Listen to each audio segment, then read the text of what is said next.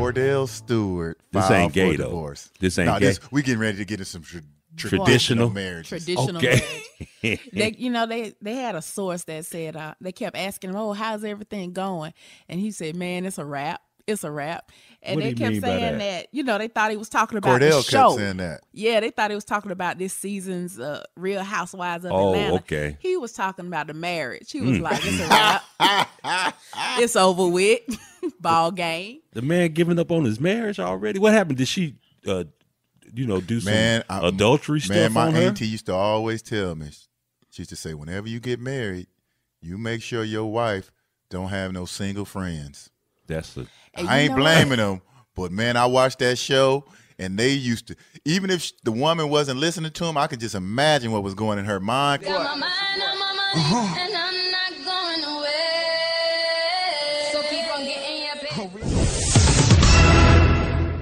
Listen to this clip, the Today Show. and They was talking about Kordell filing for divorce. okay. And former NFL star Kordell Stewart has dropped a major behind the scenes bombshell by filing for divorce. I know. ABC's Diana Perez has the details. Oh my goodness! Kordell loves to dress me. I'm his Barbie doll. She's the quintessential Georgia peach and a budding philanthropist. He's a gridiron great, a former Pittsburgh Steelers quarterback. Together, Porsha and Kordell Stewart were one of Hotlanta's hottest couples until their love seemed to go cold, with nearly 4 million viewers watching. I'm just disgusted. Why y'all can't act right? The tension had certainly played out between Kordell and Porsha, her wanting to maintain a career, and Kordell maintaining that she should either be a mother or choose a career, but not have both. I'm not trying to sound like your daddy, but this is just what I want. Even fellow castmates noticed trouble in paradise. I guess Papa Kordell didn't sign Porsha's permission slip to go on the field trip. You know, and I saw those episodes. Dude, this show killed that marriage. Cause I watched it a few times to analyze it or whatever. And Kordell Kordell was the only person on that show that had any sense. Everybody else, it's called Real Housewives of Atlanta. You got what, five, six women, ain't but two of them wives. So you telling me talking killed a marriage? Cause they all in her all in her business. They saying things like you heard that permission slip comment. Yeah. Uh stuff like, oh, he's not letting her one of the where it started really blowing up. All the women went to Vegas and they went to a strip club. Roger said he didn't want me in the strip club. I was like, well, I don't think nothing wrong with going to the strip club. It ain't no sin to go to the strip club. You know, I was just being rebellious. You know, it's a bad decision. And she didn't Yeah. go with him. Because she said, you know, that was disrespectful to her marriage. Mm-hmm. He didn't tell her that she couldn't go. She just saw that, hey, you know, I respect what I got. I don't want to go in there. Mm-hmm. And then, oh, you're letting him control you. What he's supposed to do? What's she supposed to do? And that was the only marriage that was like a normal marriage. Well, you know what? I was speaking of marriage. I was married 27 years. Uh, the first time I was married, because I got married again. With that that that marriage broke up, not because of my wife, but because of me. But the second time I got married, hit, this is funny because I was only married eight months. I felt like I was married to Kim Kardashian when I when, that when that marriage broke up, man. How long it last? Eight months. Eight months. So I mean, at least I thought I was Kris Humphries. You double Kim's record. She was what, three months? I think hers was three months, so I doubled her record. But my point is, what I want to make is, we have this mindset, mindset, set encouraged by the media. Once again, they're encouraging this that you being happy is more important than sacrifice, and sacrifice is what it takes. Is the main ingredient in marriage. Yeah, that's heavy. Well, well, now Kordell, this is I'm gonna name him. He used to be called a slash. Now he's Kordell slash divorced. you know what? I'm I'm glad he filed for divorce. Mhm. You know why? Why? Cause I don't mess with married men. Get that man my number, cause he, he all right. You me. like him? Pittsburgh, so you like the Steelers. What? Wow. What? Kordell, Now you know, y'all know me. I got to tie it into the media. Yeah, right? t- yeah. And the reason why I'm gonna tie it into the media be, is because I seen him on the show a few times, and he was getting a little controlling. But you know, that's his relationship. She might like that or not. You never know what people got going on inside of her, inside of a marriage. Mm-hmm. But I do know this: marriage has been affected since the 50s. Okay. Okay, the In the 50s. 50s and the 60s, when they start putting these fake images of their lives with Leave It to Beaver. Oh yeah. Is that you, Beaver? Yes, Mom. Oh, Beaver, I see you're home. Yes, Dad. This is me that's home. How was the movie? Well, I didn't go to the movie. You didn't go to the movie? No, sir. I went yesterday when I wasn't supposed to. Oh, is that so? Yes, sir. And I won a racing bicycle with a guaranteed leather seat. And I hid it at Larry's. And I was going to make believe like I won it today. But I couldn't. So that's why I'm telling you what happened. Bullshit, bullshit, bullshit. Bullshit. Father Knows Best. Oh, man. On into the 60s and 70s with the Brady Bunch. Mm-hmm. They always had the wife nice and petite and Sweet. and sweet and innocent. and they made her look happy at home, cooking, Cooking, and cleaning. cleaning, and you know, just catering to her man and her family and everything, right? Mm-hmm. On into the 80s, if you notice, they started changing that. The- They okay. started change. They started putting married women who wanted power. Mm-hmm. See, they made the women who wanted to stay at home look happy and joyful, but the women who wanted power and wanted to wanted more out of life than just to be sitting at home washing dishes, they made them look crazy, Oh yeah, they did. Uh, nagging. Mhm. You go watch Dynasty. Oh. Go watch Dallas. Dallas. Those women were out of their minds. They were. So it was like the media was was shaping and stereotyping women. Okay, if you stay at home, you could be happy. Mm-hmm. And it wasn't affecting the women. You know who it affected more? Who? The men watching. Because that's what they wanted. They they wanted Greg, Bra- uh, the Brady Bunch yeah, life. because I have sisters always asking me all the time, why do men want those women they can control? Why do they want women like that? Why do they want an independent woman? They always and I try to explain to them, not all men, but No. but just like the media affected white people thinking black people crimes, it Mhm. affects you subconsciously. Mhm. Right. So a man don't even realize it that he's been taught and conditioned to want that type of woman. Dang. So he has to fight that. You know, now it's a little bit different because the media has slowly been changing that. Mhm. But you know, that's a process. Oh, and maybe. Kordell didn't understand that because you can't control a woman. Don't wait. Ain't no way in the world you gonna control a woman. She gonna do what she want to do. She gonna do. Hey, if it get to that point where she doing what she want to do, you got two choices: What's that?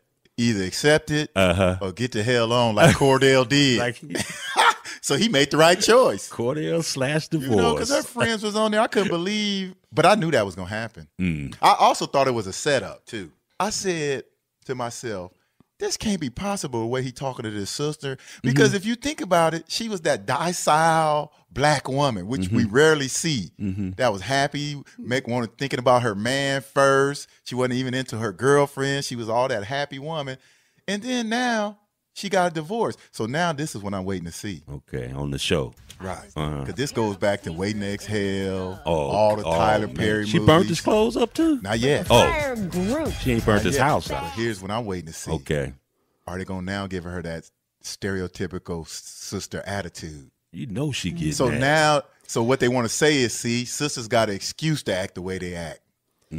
Actually, The I, what I'm what I'm wondering if if they're gonna start showing he may be out with his publicist or or his agent or something, and they start spinning it like he looking at white women now. Uh oh. Wow, here they come. and, and They coming. you know, it's Black people just can't get along, huh? just can't get along. Somebody chocolate gotta, people, too. gotta intervene. Wow. Man, that's amazing. How That's, they- and they it's all on the slide, and people say, "Man, y'all just paranoid. Y'all just did."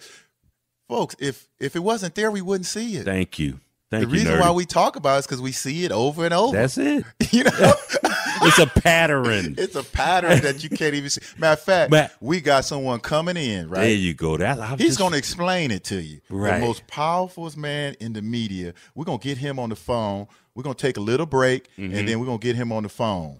Okay. Okay. We'll be right back, y'all. Right. All right.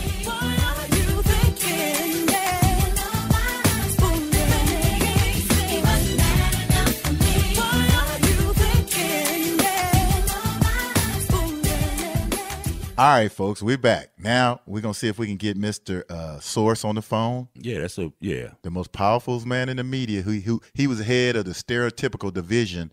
Man, he ran that. Yeah, of Hollywood. Let's see if we can get him.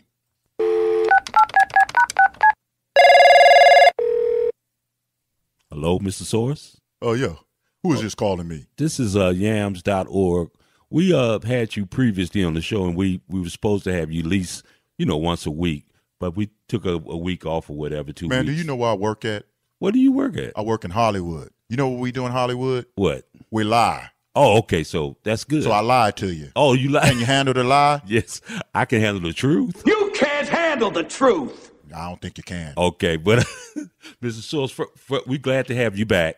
Our audience, you know, uh, enjoys you. The one time they we got a lot of emails, you know, coming from them asking more questions, and so we decided to call you again. And thank God you was uh, available. Yeah, I see that you guys changed your format. You got a woman on there. Who does she think she is? A low rent Oprah? Yes. Well, you might want to meet her. I didn't get a job. You might want to meet her. I don't want to meet her. Didn't you? pu- Didn't you do Oprah? I mean, I created it all. Oh, okay. That's what I. Did I you mean- like Oprah? Did Oprah make black young black man look good? Yeah, I think. Did she create any black doctors? Uh, Is no. there? She made Dr. Phil. She made Dr. Phil. Okay, okay. She made Dr. Oz. She had Ben Do You got Dr. Bubble. She had. no, we don't have. Did Ben Carson get his own show? No, he never did. No. Okay. As a matter of fact, they. But my what I what, what I'm trying to get to some. We got a couple of questions that we want to ask you. One of them is this: Is there a method to a story going national when the crime is committed by a black person? Are you A reading that? Yeah, I'm reading this. You know, because it's a question. Okay. It came in from a uh, from one of our listeners. So Get to your point, sir. Okay. Even if a black person is a part of the cli- crime, like the Ohio rape case, you know, they was just having fun. Okay, the girl got drunk, but once the black guy put his finger in the fun, then it became a rape case. So I was wanted to ask you, what do you feel? How does that take place? How, how does all that take place? So basically, you're asking me how do we decide which stories we're going to pick? right. Right? Because you black people have the highest crime rate. So you say we do, right? Or- Well, you do. Oh. However, most crimes are committed by other people, but you have a high crime rate. So Mhm. once we get to the crime scene, we have to decide: is this story worth going national? okay. And what we sometimes we come to the conclusion that if it's black, Mm-hmm. it's always going national. And I'm gonna tell you why, young Okay. man. Because in our surveys, what we found out, Mm-hmm. black crime gets higher ratings. Oh, on the television. Yes, white people don't want to see themselves as criminals. Right. Okay. Anybody, you don't like seeing black people as I criminals, sure do don't. I get I get the quivers. Where there's more white people, so we're gonna make you the criminals. Okay. Did you understand that? Yeah, I think I got that. I think Okay. I got that. Any more questions? yeah, we got one more question. Do you have you don't have any, do you, Essence? I had them, but Come on, I you just- broke Oprah. she broke. Just because, just She 'cause sound you didn't give me a broke. job. You- Well, I, my question has to do with something like the one he just asked with the picking a, a side. Is that the way you do your stand your ground cases? right. Because Well, what I'm saying is, you know, stand your ground with with Zimmerman. He was the white guy taking it, and it blew up. Mm-hmm. And then you had other cases that came back behind that where black people took that law and and it went under the table. So how well, come they weren't out basically, there? you know, I'm an extension of the wealthy. That's who I work for. okay. And the whole purpose of the wealthy is to stay in power. Period. And the reason they want to stay in power is because power is good. oh, it's okay. And the easiest way to stay in power is to conquer and divide. Okay. So when we see a case, Mm-hmm. the first thought we have in our process is this Mm-hmm. How can we divide the people? Mm. I heard earlier in your show you mentioned the Texas man being drugged in Texas. Right. We made that a national story. Sure did. Yes, we did because we knew it would divide the people. Do you know just two months after that, two skinheads had saved an old black couple in a burning car at a stop sign? I didn't know that. Yes, we did that. That didn't go national. We didn't want it to go national because it would have brought the people together, you fool. That's how that works, huh? How else couldn't we stand power if we don't keep you divided, knucklehead?